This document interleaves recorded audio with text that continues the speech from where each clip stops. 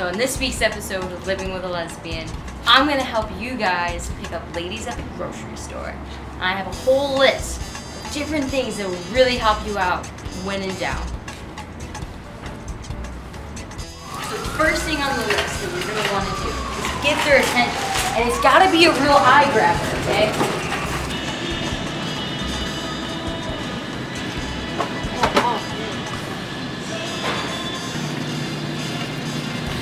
Whoa.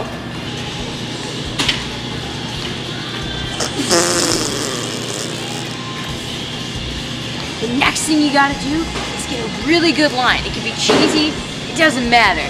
Girls love it. Even when they say they don't, they do. Do you like raisin bread? I feel like raisin's in trouble with you.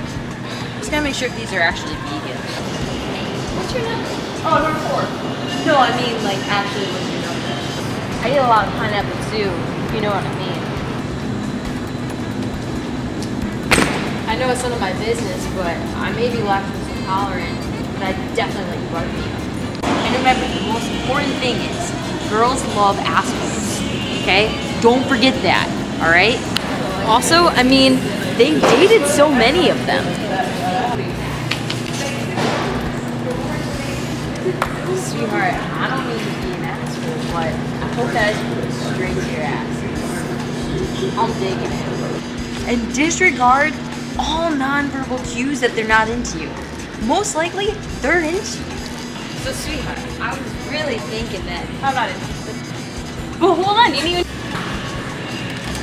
So, really. I was Oh my god, go away! She wants me. In conclusion, I got 10 different numbers tonight, all from the same girl. So, it just goes to show you, if you really put your mind to it, you can do anything. Also, thank you so much for watching our video. Make sure to like and subscribe. Also, you can follow us on Instagram at Living with a Lesbian. Um, if you have anything that you want to see us do for our next video, make sure to leave a comment or send us a direct message. Thank you so much for watching again.